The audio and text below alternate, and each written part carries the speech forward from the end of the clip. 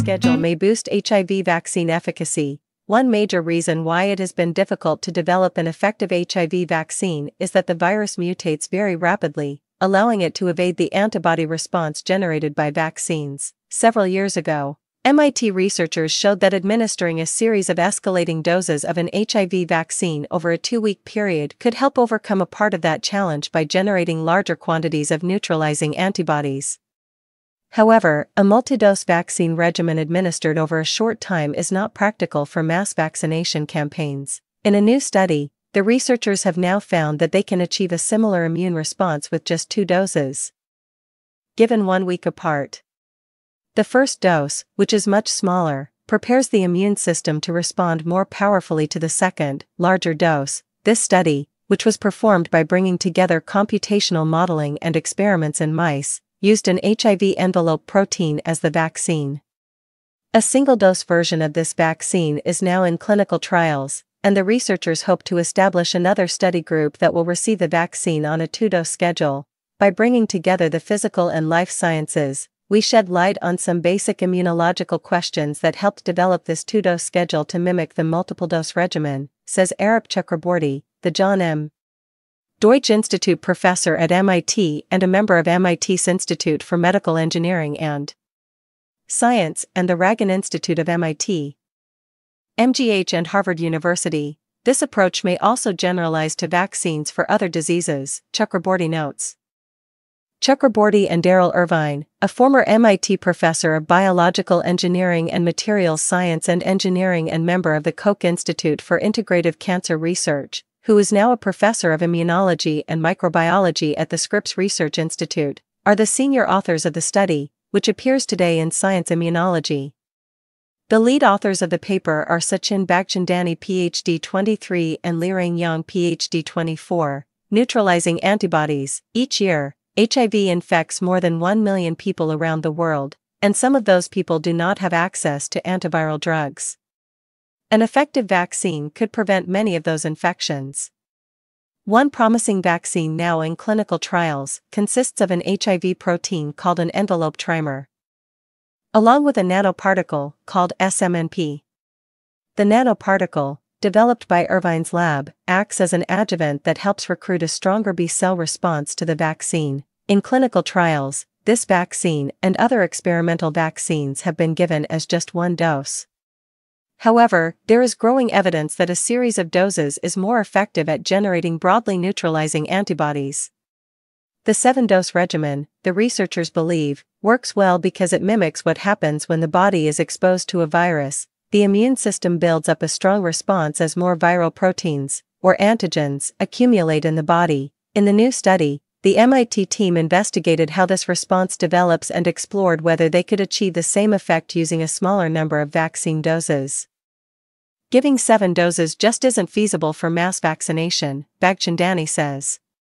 We wanted to identify some of the critical elements necessary for the success of this escalating dose, and to explore whether that knowledge could allow us to reduce the number of doses.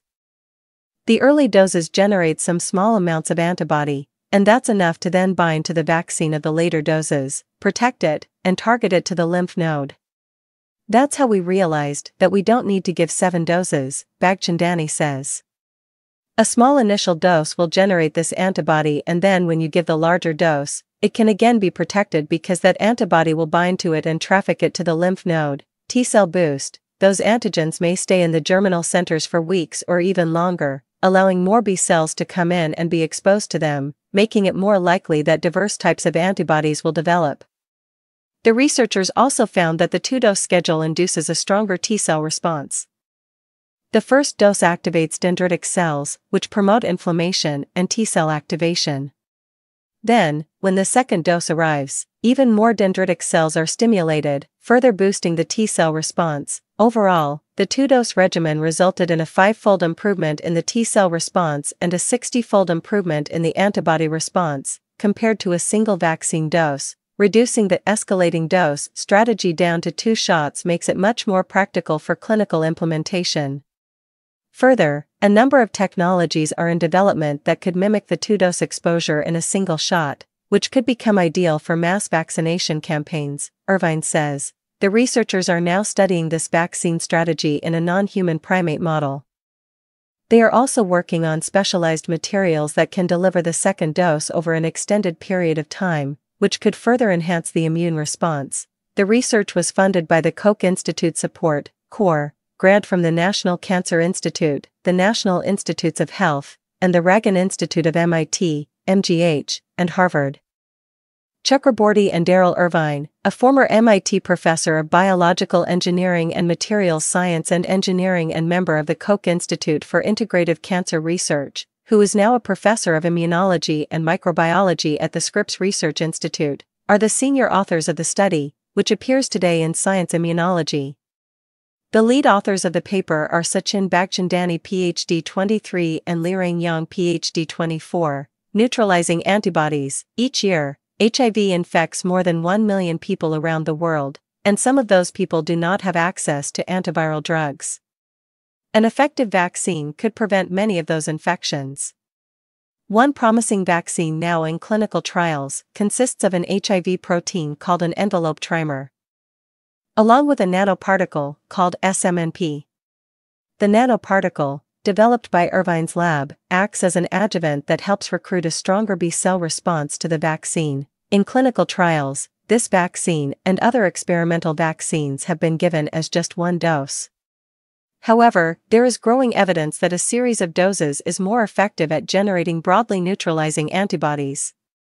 The seven dose regimen, the researchers believe, works well because it mimics what happens when the body is exposed to a virus, the immune system builds up a strong response as more viral proteins, or antigens, accumulate in the body. In the new study, the MIT team investigated how this response develops and explored whether they could achieve the same effect using a smaller number of vaccine doses.